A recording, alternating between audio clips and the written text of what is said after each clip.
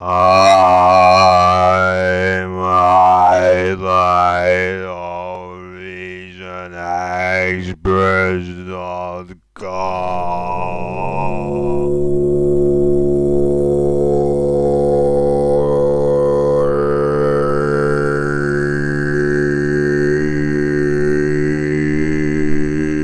It almost sounds like that I actually recorded this thing.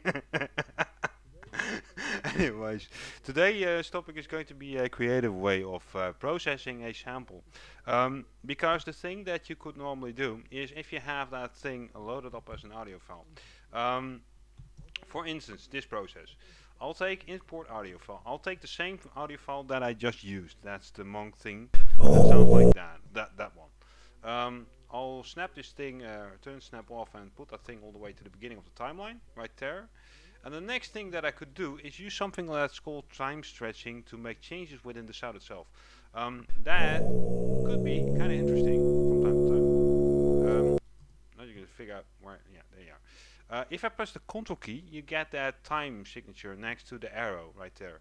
Um, if I stretch that like that, I make it faster. So it time stretches faster. So it sounds like it's little bit more like uh, compressed like. There's not really a pitch change taking place with time stretching. That's the cool artifact with this but it sounds like it's really rapid in a way. Uh, but I can also make this like an Aphex Twin's approach making the time stretch really long like that. So I can create a really weird sound effect from this whole thing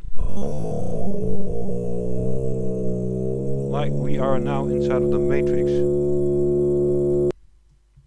That's one of the reasons why time stretching for instance is sometimes really cool. If you want to and you are using uh, ASIO4ALL, you can create a new audio track and use the record source as, well in this case it could be the master section or it could be uh, any channel that's out there um, and record the incoming audio. But in this context I cannot really do that because I have over here a setup where I'm using a DirectX driver. That has everything to do with the way that I'm recording this whole thing. So I cannot really show you in this current context how this setup would actually uh, work like. But you can resample this particular sound and throw that inside of a new audio track and reuse that audio track to do your bidding more or less. Another thing that I really like about audio tracks over here is let's say I have this audio track right there. I can say bounce this clip to a new sample I have this new sample. That's the glitch sample that I'm re reusing right now. So in this case I don't have to re-record the whole thing again. I can just delete this sample right there. I can uh, recreate a uh, new instrument that's going to be a NNXT loop player, right, or a NNXT sampler. I can say browse sample, and if you're using uh for instance, uh, Reason 8, you can just drag the sample right inside of the NNXT. In this case, I have to load it up because I'm in this case using Reason 7 in this current state.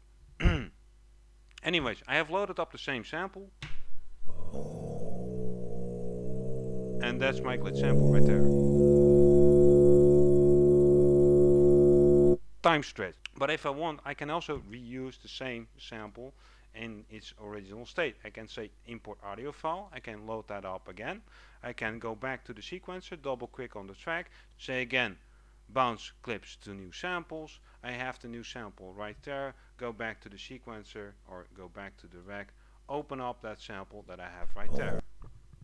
It's the same sample, but in this case I have the time stretch version and the non-time stretch version next to each other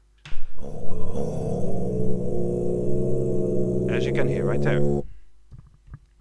In this context, I can do something really creative if I want to. I can say, okay, I have the time stretch version right there. I can pan that thing to the left.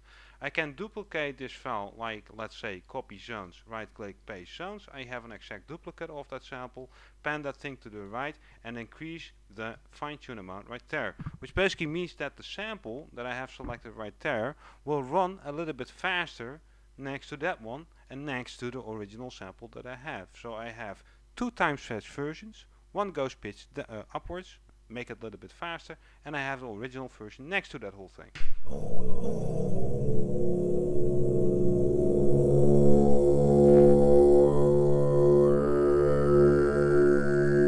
And that sounds like that.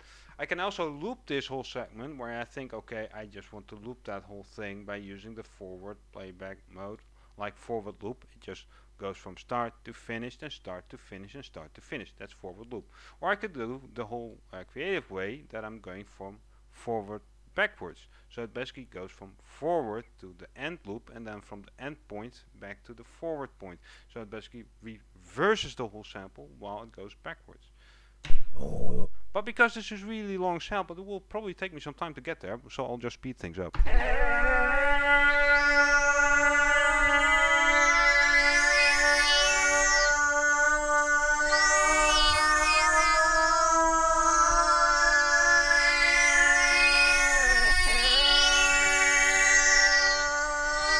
Can somebody please kill the cat? Thanks. but I think you get the idea.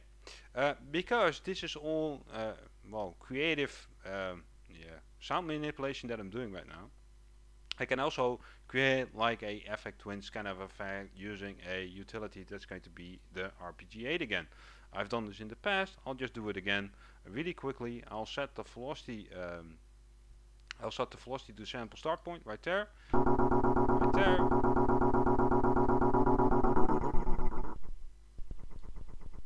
I'll set the uh, sample start point a little bit upwards so it really starts within the sample itself. Right there. I'll crank up the release just a little bit. And I can go like that.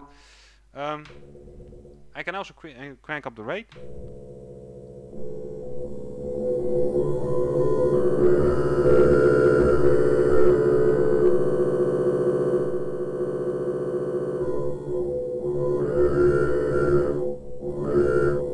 just like that. So in this case, I'm actually creating like a granule synth out of a NNXT loop, which also has a time stretch version next to a uh, original sample.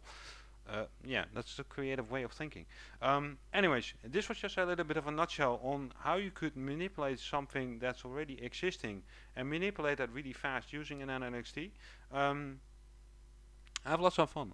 I